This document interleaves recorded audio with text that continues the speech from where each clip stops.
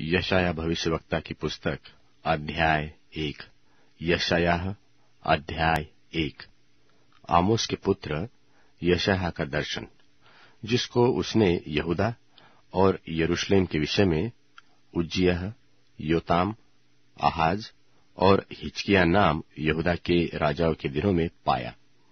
हे स्वर्ग, सुन और हे पृथ्वी, कान लगा, क्योंकि यहोवा कहता है कि मैंने बाल बच्चों का पालन पोषण किया और उनको बढ़ाया भी और उन्होंने मुझसे बलवा किया। बैल तो अपने मालिक को और गधा अपने स्वामी की चरनी को पहचानता है, परंतु इसराइल मुझे नहीं जानता और मेरी प्रजा सोच विचार नहीं करती। हाय, यह जाति पाप से कैसी भरी है? यह समाज अधर्म से कैसा लदा हुआ है? इस वंश के लोग कैसे कुकर्मी है और ये लड़के वाले कैसे बिगड़े हुए हैं, उन्होंने यहोवा को छोड़ दिया और इसराइल के पवित्र को तुच्छ जाना है। वे पराय बनकर पीछे हट गए हैं। तुम क्यों अधिक बलवा कर करके अधिक मार खाना चाहते हो? तुम्हारा सिर घावों से भर गया और तुम्हारा हृदय दुख से भरा है। नख से शिरक तक कहीं कुछ भी आरोग्यता नहीं। चोट और कोड़े की मार के चिन्ह और सड़े हुए घाव है, जो न दबाए गए, न बांधे गए, न तेल लगाकर नरमाए गए हैं। तुम्हारा देश उजड़ा हुआ और तुम्हारे नगर भस्म हो गए हैं। तुम्हारे खेतों को परदेशी लोग तुम्हारे देखते ही निगल रहे हैं। वह परदेशियों से नाश किए हुए देश के समान उजड़ा है। और सियोन की बेटी छोड़ दी गई है। दाग की बारी में भी, झोपड़ी व ककड़ी के खेत में भी छपरिया घिरे हुए नगर के समान अकेली खड़ी है।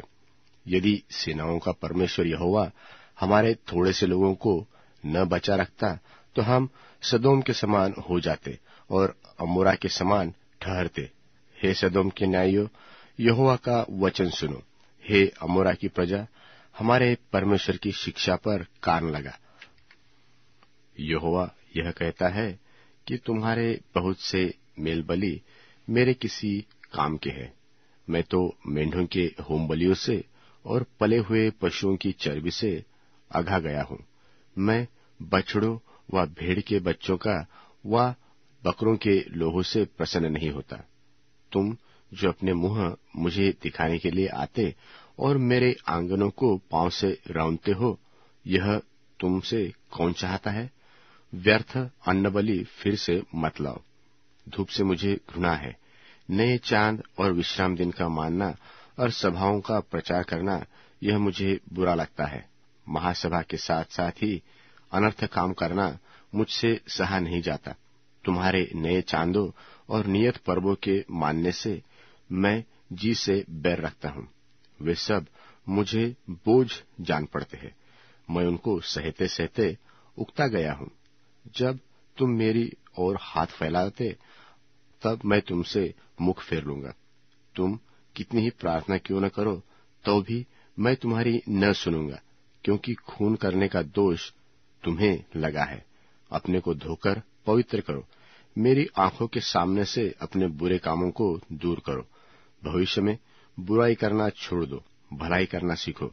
यत्न से न्याय करो, उपद्रवी को सुधारो। अनाथ का न्याय चुकाओ, विधवा का मुकदमा लड़ो। यहोवा कहता है कि आओ, हम आपस में वाद विवाद करें। अपने पाप, चाहे लाल रंग के हो तो भी वे हिम की नाई उजले हो जाएँगे। और चाहे अर्गवानी रंग के हो तो भी वे उनके समान श्वेत हो जाएँगे। यदि तुम प्रसन्न होकर मेरी मानो तो इस देश के उत्तम उत्तम पदार्थ खाओगे। और यदि तुम न मानोगे और बलवा करोगे तो तलवार से मारे जाओगे। यहोवा का यही वचन है। जो नगरी सती थी, सो क्योंकर व्यभिचारिणी हो गई।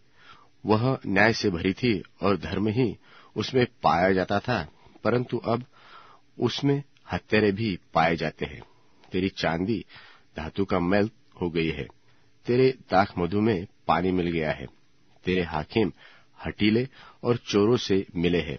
वे सब के सब घूस खाने वाले और भेंट के लालची है, और न तो वे अनाथ का न्याय करते और न विधवा का मुकदमा अपने पास आने देते हैं। इस कारण प्रभु सेनाओं के यहुआ इसराइल की शक्तिमान की यह वाणी है कि सुनो, मैं अपने शत्रुओं को दूर करके शांति पाऊँगा और अपने बैरियों से पलटा लूँगा और मैं तुझ पर फिर हाथ बढ़ाकर तेरा धातु का मैल पूरी रीति से भस्म करूँगा और तेरा रांग पूरी रीति से दूर करूँगा और मैं तुझसे पहले की न्याय न्याय और आदि काल के समान मंत्री फिर नियुक्त करूँगा। उसके बाद तू धर्मपुरी और सती नगरी कहलाएगी और सियोन न्याय के द्वारा और जो उसमें फिरेंगे, वे धर्म के द्वारा छुड़ा दिए जाएँगे। परंतु बलवाइयों और पापियों का एक संग नाश होगा। और जिन्होंने परमेश्वर यहुआ को त्याग दिया है, उनका अंत हो जाएगा।